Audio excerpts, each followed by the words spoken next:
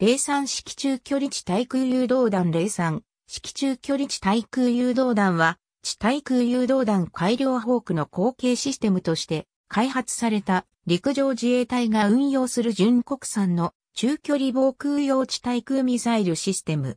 三菱電機が主契約者としてシステム取りまとめ企業となり、三菱重工業が誘導弾、東芝がレーダーを製造している。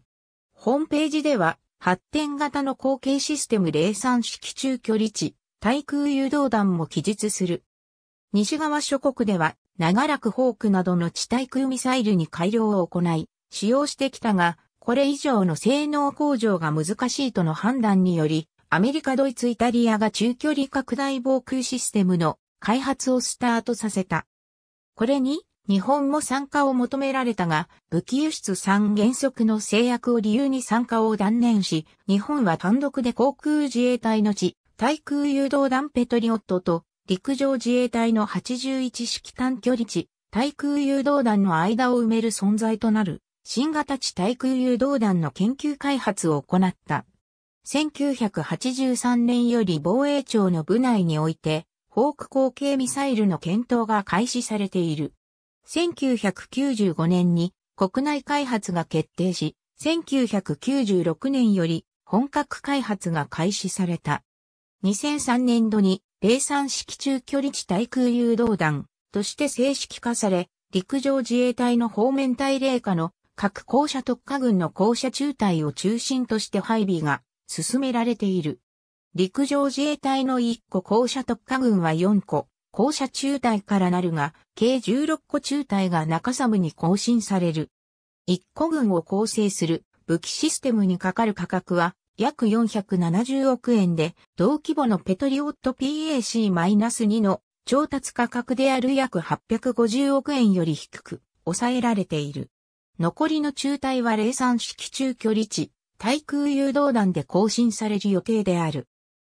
システムを構成するサブシステムの一部発射装置搭載車両対空戦闘式装置の搭載車体には73式大型トラックを使用し、艦船無線伝送装置、艦船無線中継装置及び射撃管制装置の搭載車体には高機動車を使用、捜索兼射撃用レーダー装置車、発射装置車、運搬、装填装置車及び、レーダー信号処理兼電源車の車体には重装輪、回収車と共通の重装輪車両が使用されており、高い軌道展開性によって有事に即対応できる。操作に必要な要因も省力化され、20人体制で運用することができるようになった。また、肘装部のあったフォークと異なり、システム一式の完全車載、自走化により、機動力が向上した。ミサイル本体は発射塔を兼ねた角型コンテナに収められた状態で、発射装置及び運搬装填装置に各6発ずつ搭載されており、ロシアの S-300 や米欧共同開発の水などと同様の垂直発射方式である。このため、陣地展開に必要な土地面積が従来方式に比べ少なくて済むようになり、展開用地確保が容易になっている。レーダーはアクティブフェーズドアレイレーダーであり、100目標を追尾し、12目標を補足可能である。レーダーは1機で標的捜索のほか、目標の追尾及び射撃管制も行う。また、高度なエクセム能力と多目標同時対処能力を持ち、空対地ミサイルや巡航ミサイルによる遠距離攻撃に対処する能力も有するとされている。レーダーは回転することにより、全周捜索を行う。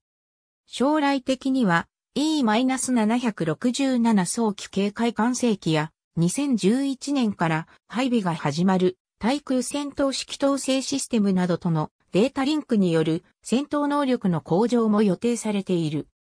ミサイル誘導方式は中間指令誘導とアクティブレーダーフォーミングの組み合わせとなっている。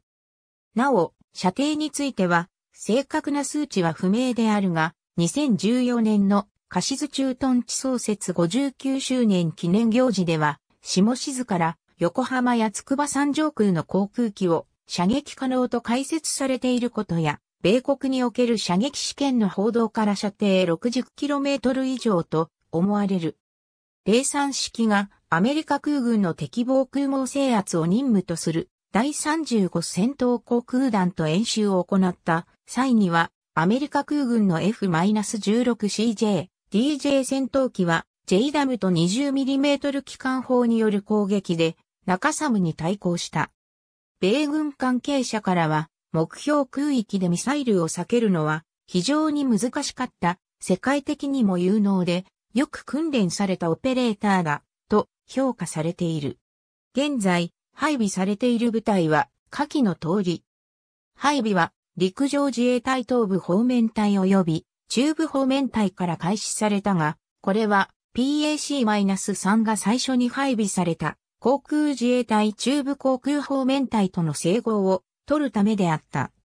その後は南西諸島防衛の観点から西部方面隊に展開する校舎特化連隊及び校舎特化軍を中心に乾燥を進めている。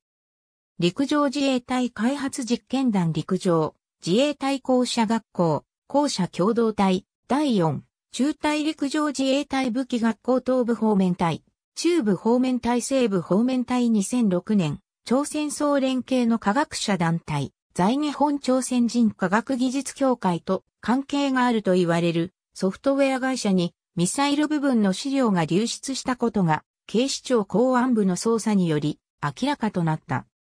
中サムが戦術弾道ミサイルへの対処能力を得られるか田舎の性能検討に使うためのシミュレーションを防衛省が三菱総研に発注した際に三菱総研から研究を孫受けした企業が薬事法違反で前科のある華僑所属の在日韓国人が役員を務める会社であった。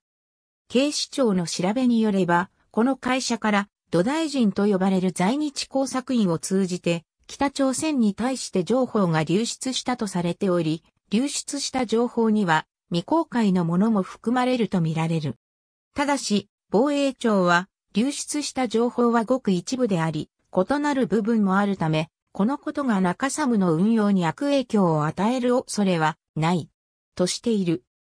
2010年度から2016年度まで取得コストを抑制しながら、巡航ミサイルや空対地ミサイルへの対処能力を向上させ、ネットワーク光線能力の向上により、防衛範囲を拡大させた、03式中距離地、対空誘導弾の開発が行われた。中サム改めでは、低空目標用に、窒化ガリウム増幅器を使用した補助レーダーが、システムに追加されているのが特徴である。なお、中サムで誘導弾を製造していた、三菱重工業は中サム改めには参画していない。2015年夏にアメリカニューメキシコ州のホワイトサンズ、ミサイル実験場で開発中の03式中距離地、対空誘導弾の発射試験を行い、巡航ミサイルを模したターゲットに対し10発を発射、前段が命中し、アメリカ軍関係者を驚かせた。また、10発うち1発は、低高度を超音速で飛翔する GQM-163 エコ用手、超音速標的であった。平成29年度予算で初めて1個中隊分の予算174億円が計上され調達が始まった。開発完了に伴い、03式中距離地、対空誘導弾の名称も使われている。2020年からは、イスカンデルのような変速軌道で飛行する弾道ミサイルを迎撃することを目指した中寒海のさらなる改良型誘導弾の研究を開始する。